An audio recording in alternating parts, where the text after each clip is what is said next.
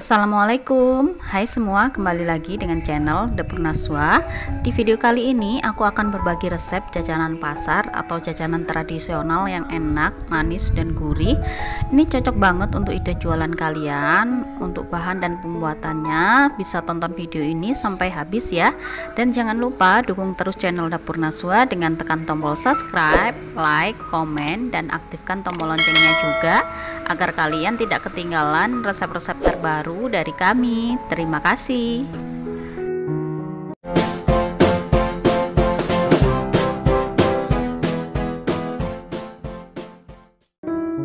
Langkah pertama, siapkan wadah, masukkan 300 gram atau 30 sendok makan tepung terigu. Untuk ukuran sendoknya tidak terlalu munjung atau terlalu peres, cukup menggunung sedang atau cembung seperti ini.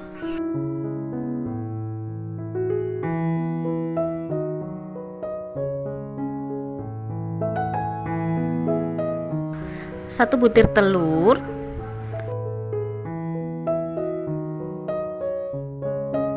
Setengah sendok teh garam. Kemudian tuang 550 ml susu cair atau kalian bisa menggunakan 2 saset susu kental manis yang dilarutkan dengan air. Tuang susu sedikit demi sedikit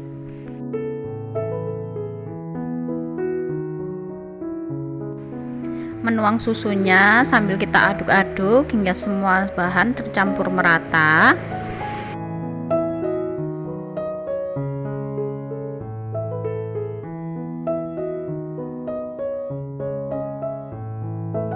Aduk-aduk adonan hingga tidak ada tepung yang bergerindil, tekstur adonannya halus dan licin.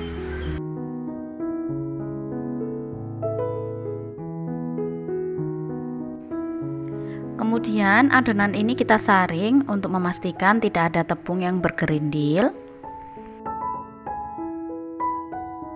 Untuk resep lengkap sudah aku cantumkan di deskripsi box ya.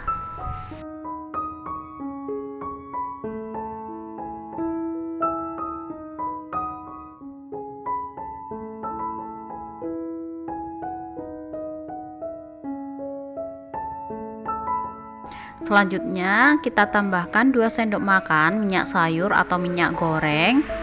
Kemudian aduk kembali sampai semua tercampur merata.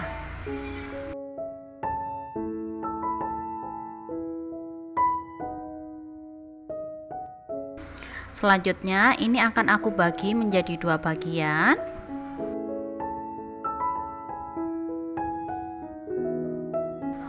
Satu bagian aku beri pasta pandan secukupnya. Aduk lagi sampai warnanya merata.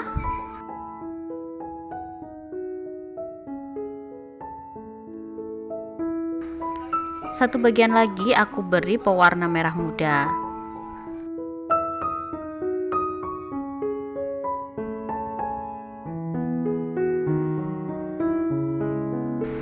Karena di sini aku tidak punya cetakan. Untuk cetakan ini aku menggunakan botol bekas air minum seperti ini. Terus ini aku lubangi tutupnya menggunakan paku yang dipanaskan terlebih dahulu. Lalu kita masukkan adonan ke dalam botol.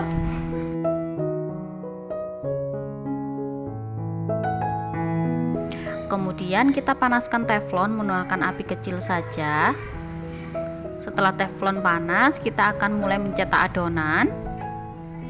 Tuang adonan memutar seperti ini.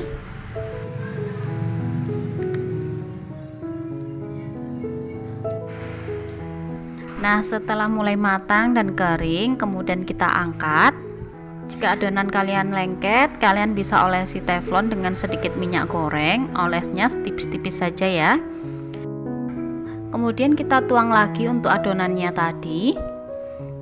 Kita lakukan terus sampai adonannya habis.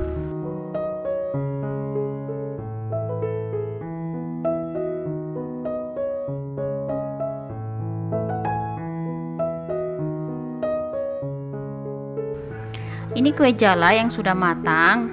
Kemudian ini kita lipat Cara lipatnya sama ya, seperti melipat amplop atau dadar gulung. Samping-sampingnya kita lipat, kemudian dari atas kita gulung seperti ini.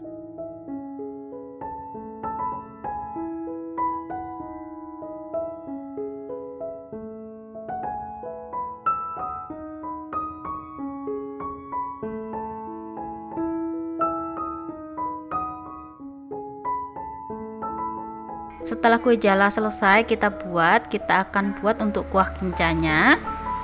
Di sini aku punya 200 gram buah nangka. Kemudian kita iris dadu kecil-kecil seperti ini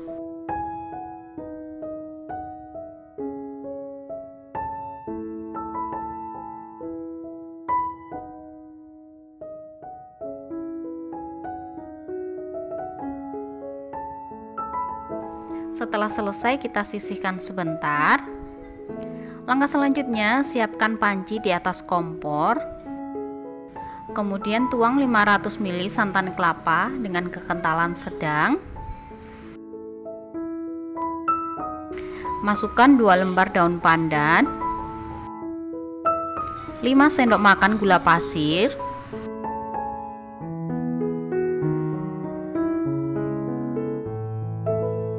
setengah sendok teh garam kemudian kita masak sampai gula larut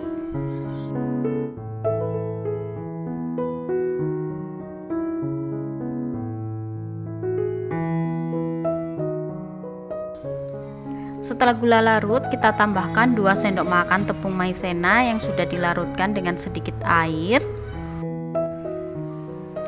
Masukkan juga untuk potongan buah nangkanya.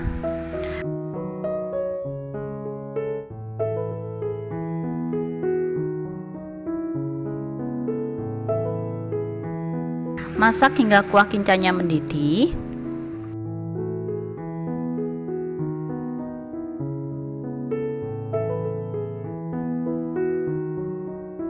Setelah kuah kinca mendidih, kemudian kita angkat dan tunggu hingga dingin ini kue jala yang sudah selesai kita buat.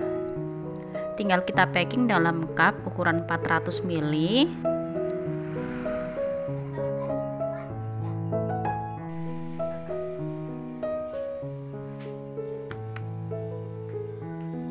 dan untuk kuah kinca bisa ditaruh dalam plastik ukuran 1 ons seperti ini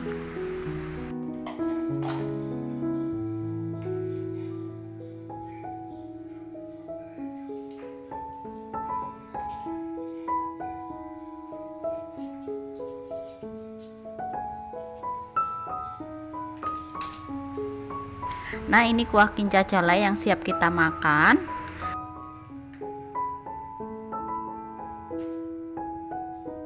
Rasanya enak, lembut dan gurih, aroma nangka yang menggugah selera banget.